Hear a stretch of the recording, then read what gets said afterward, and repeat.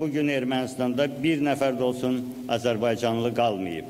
Ermənistan qəbristanlıqlarımızı, mədəni və dini abidələrimizi sistemli şəkildə dağıtmışdır.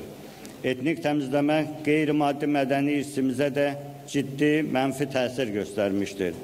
Bizim adət-ənənələrimiz, həyat tərzimiz və sosial bağlarımız xeyli zərər görmüşdür. Ermənistan hökuməti Azərbaycan mədəni irsinin vəziyyətini qiymətləndirmək məqsədi ilə UNESCO-nun missiyasının Ermənistana göndərilməsinə imkan vermir. Nəzərinizə çatdırım ki, biz Ermənistandakı müqəddəs yerlərimizi ziyarət edə bilməyimizə yardım etmə xahişi ilə dinlərarası dialoqun sadiq müdafiəçisi olan Papa Həzrətləri Fransiska müraciət göndərmişik.